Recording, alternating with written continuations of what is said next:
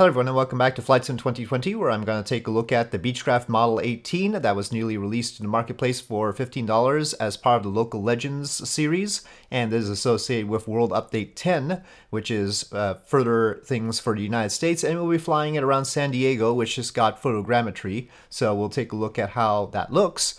Now normally I wouldn't have gotten the Beechcraft Model 18 so quickly because oops I already have the Boeing 247, which is right down here.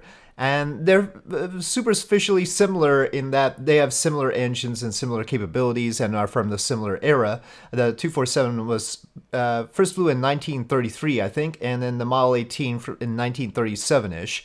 Uh, so it's a little bit newer. And it's still in service in some places. So there is that going for it. Was produced in much larger quantities than the Boeing 247. However, the wings the 42 Boeing 247 is not only fairly affordable, but also very detailed. So uh, I'm quite happy with it. And the reason I decided to get the Beechcraft Model 18 is because they have been giving us a lot of free things lately, right? I mean, we've gotten the Top Gun update, we've gotten the Halo Pelican, we got the hypersonic plane, and now we know that we're going to get in the 40th anniversary edition the Wright Flyer, the Spirit of St. Louis, and the DC-3, and an A310. So, okay, I'll give them some money.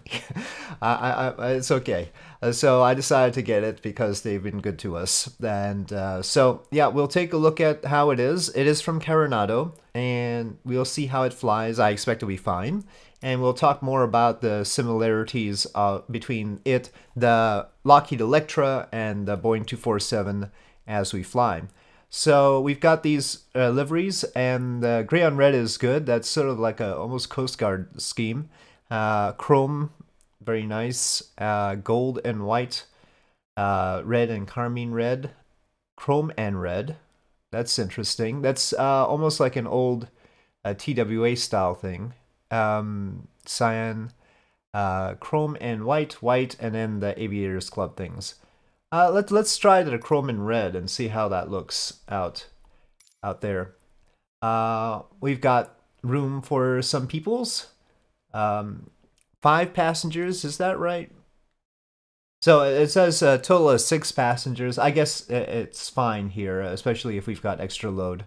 So yeah, let's load it up and see how well it gets off a runway. And yeah, let's just max it out. Oh, we can't actually max it out like that. Oh, this actually goes to 131 like that. Uh, okay, uh, we should just max the fuel first. Mm, doesn't quite get to the top. It looks like we could squeeze some more in, doesn't it? I guess it evens them all out or something. Okay, well, we're over to max payload, but right on the maximum takeoff weight, so that's good. We'll see how that goes.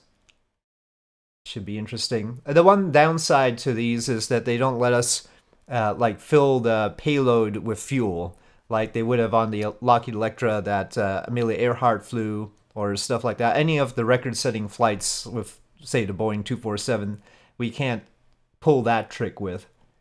Uh, that would be fun. Uh, we've got some new airports and stuff such for the world update, but I'll just go with taking a look at San Diego for now. Sierra 412 at runway 9 ready for departure, straight out departure. Well, the weather is a little bit different than I expected for San Diego at this time. Uh, we do want to see the scenery, so I want to get better weather.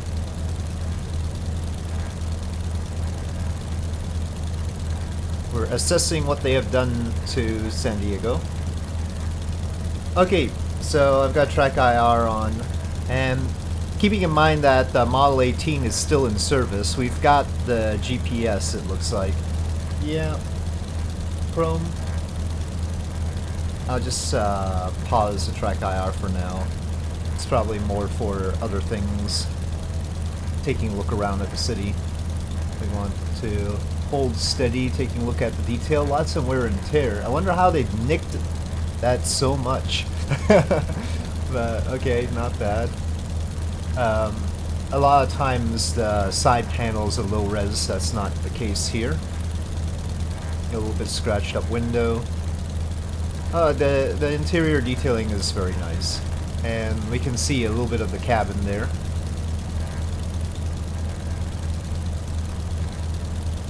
Yeah, I mean, I'll tolerate the GPS here because it's still in service. It's not like with the Savoia Marchetti where there's no reason for it to have a GPS, but uh, taking a look outside at this uh, chrome and red livery.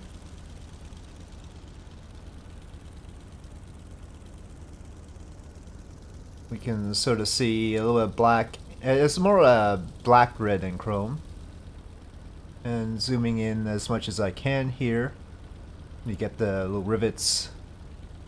So it's very well detailed as far as visuals are concerned. And uh, I'll try and make sure that I keep the engine sound up. So if my voice seems a little bit drowned out by it, it's so that you guys can hear it properly. And yeah, let's see how it goes. We've got all the amenities too. We've got the fuel thing that shows your duration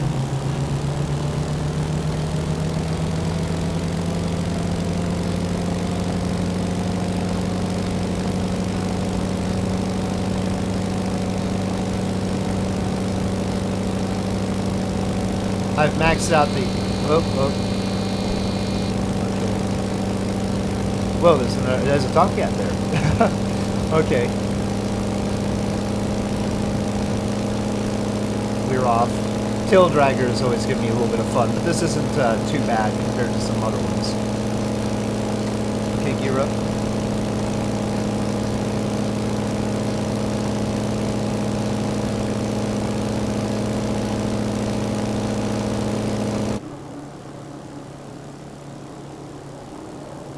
It is pretty quiet out here. Yep, there's a Tomcat. Should be flying out of Miramar, not the international airport. I have maxed out the speed on this thing, uh, uh, throttle. It is as fast as I can go. It's really quiet outside. It just really is. So that's not just the audio setting. I mean, it's much louder inside than outside. Figure that one out very clean for photogrammetry. They might be improving on things. Oh, that dome right there isn't. I don't know what's happened with that. Well, that's 200 knots right there. Well, now our RPM is maxed out. I'll, I'll pull it down back into the green area. And manifold pressure as well. We'll just keep it green. I doubt they have that kind of failure modeling for this. It'll keep us from problems.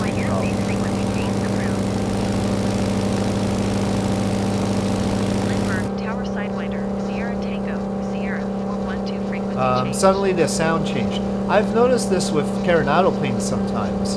After you get a little bit further into the flight, the the audio changes. I don't know why. Oh, I've got uh, additional mods for San Diego. So the port facilities have a lot of ships there, and that's added by a mod. So uh, if you're wondering, you might not get that from the photo scene or photogrammetry or anything. I think this is all added by a freeware mod though, available on flightsim.to. So if you look at for San Diego Navy or docks or something like that, uh, you should be able to find these. I haven't seen. Uh, I this is the first time I've seen it in action since putting the mod in, so that's nice. Maybe more ships than I was expecting. Well, now it's quieter in here. I don't know if that's a good thing or a bad thing. Yeah, I don't know what's up with the sounds on the Carenado planes, but that has that has happened with many of them. Okay, well, let me get the TrackIR going.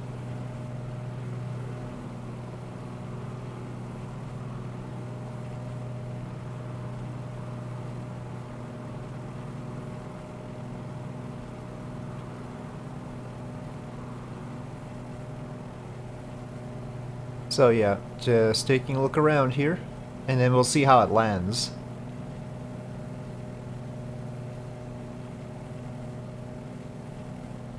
But it flies very smoothly, I'll say that.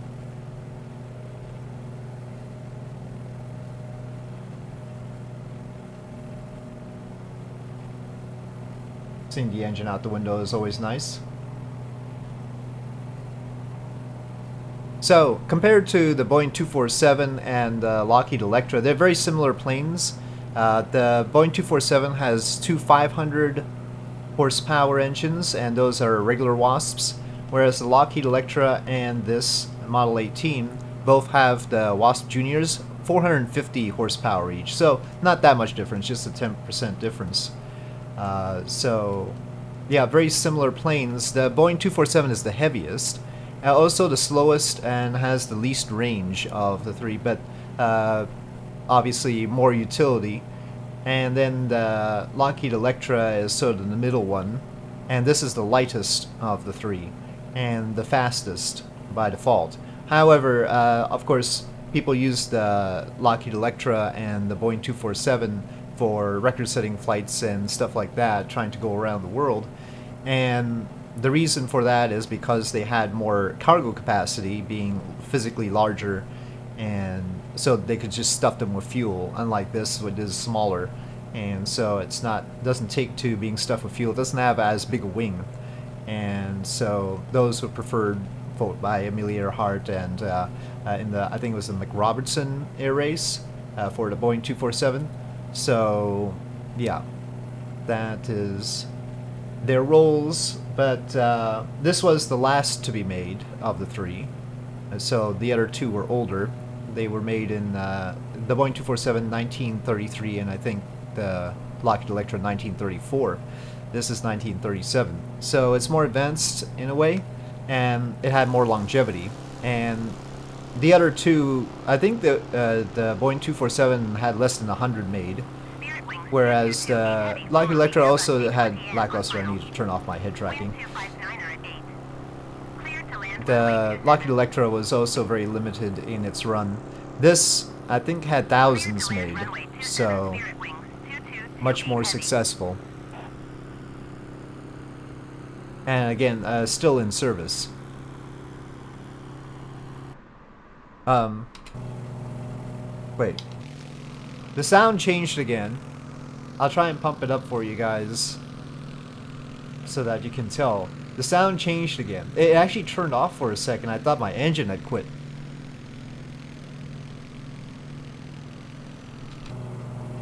But the outside sound changed. I don't know what's going on with the sound. uh, maybe, maybe it's maybe it's on my end. I don't know. You guys can like if you have it verify that this is a thing. Maybe there's something wrong with my audio, I don't know. Okay, well, I'm gonna try and land it. Uh, it's sad that they didn't do anything with the airport, considering they added photogrammetry to the city. But the airport is exceedingly generic. Ah, there's a little theme park over there.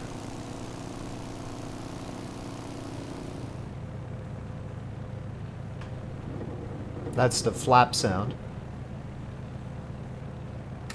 That's the landing gear sound.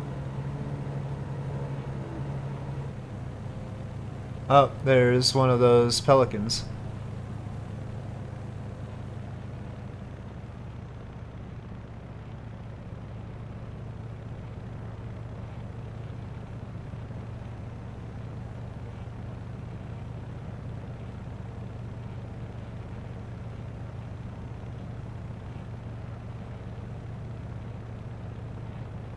Uh, over trimmed. Oh, oh, we touched down. I skipped again. I always do that with tail draggers. Okay, I think we're in permanent contact now.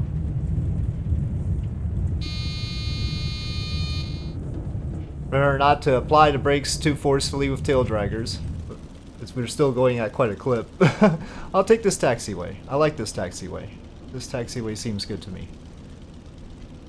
Okay, I'll try some brakes, but I don't want to flop on the nose, right? That's the thing with tail draggers. Oh, oh, oh, oh, see, see. Alright, we survived. uh, yeah, it's okay. So my only question mark is the sounds, otherwise it looks great. Uh, it should fly easily. Uh, the Model 18 is not like some of the earlier planes of this sort of style. Uh, the others were much more problematic. This one much more reliable. Alaska for 44 Lindbergh Tower. Speaking of Al- Alaska, it might be fun to fly this around Alaska in particular. Cleared ILS Yankee runway 9er approach. I've been meaning to take a look at Alaska and see how the scenery looks.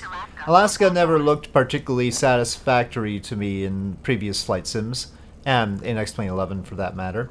So I would be interested to see how it is, and this might be a good plane to do it with. I think I'll leave it here. This is my first look at the Beechcraft Model 18.